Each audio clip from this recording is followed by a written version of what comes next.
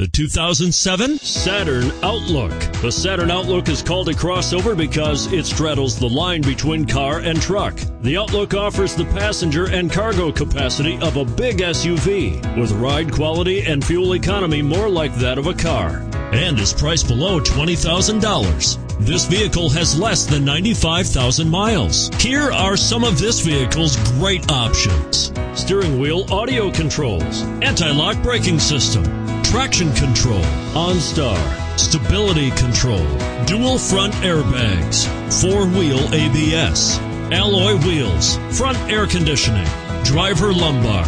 Come take a test drive today.